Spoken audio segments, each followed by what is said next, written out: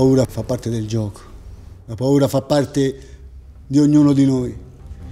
Lì sappiamo di entrare con le nostre gambe, ma non sappiamo se usciamo con le nostre gambe.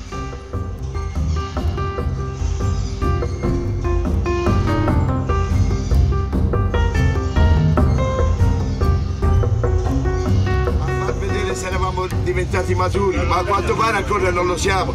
Oggi un c'è scusanti e si ragiona col cervello. Quest'altri le già giorni e stanno giocando questa partita. Ricordatelo, andiamo in campo, non si è chiuso il discorso della partita dell'edizione passata. Andiamo a chiuderla. Quest'anno non ci deve essere scusanti. Siamo diventati maturi, andiamo con l'atteggiamento giusto e non perdiamo questa partita perché non c'è da essere storia.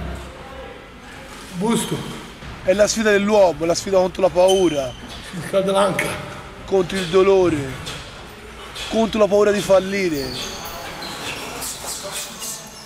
Ma come nella vita la paura è il motore, de, è quello che ci fa fare delle cose.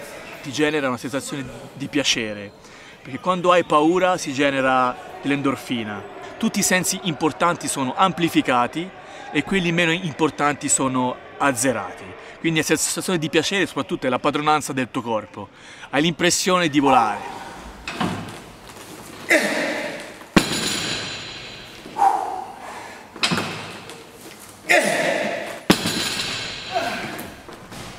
È un momento che va fuori dallo spazio e dal tempo, è una, non è assolutamente sport, è amicizia, è, è combattimento, è lotta, è sentimento, sono tante cose è qualcosa che, che va oltre la realtà normale, il 2013, i tempi moderni, l'Italia, gli Stati Uniti, l'Europa, tutto il resto.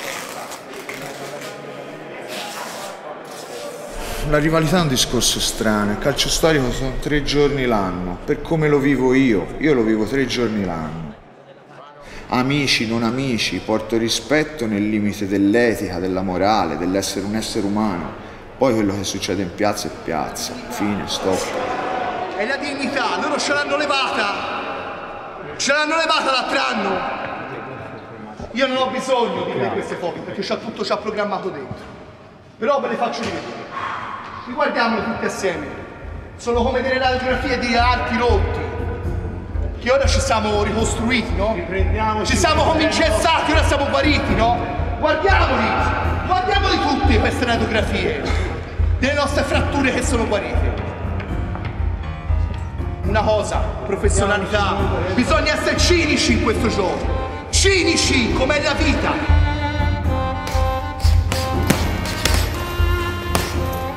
Nella vita è sempre stato lui quando ero piccolo a difendere me, ora penso che lo difenderò io. Tutti mi dicono il Biagi, mio fratello, il Santi, Marcello, tutte le persone mi dicono quello che hanno sentito loro, che lei comunque non è facile, perché comunque c'è... Vediamo un po' quello che succede, ecco. È un'incognita anche per me. Avrò sempre un occhio rivolto verso di lui. Il primo anno per lui sarà un, un po' dura e di sicuro sarò sempre attento a quello, a quello che farà. Ecco.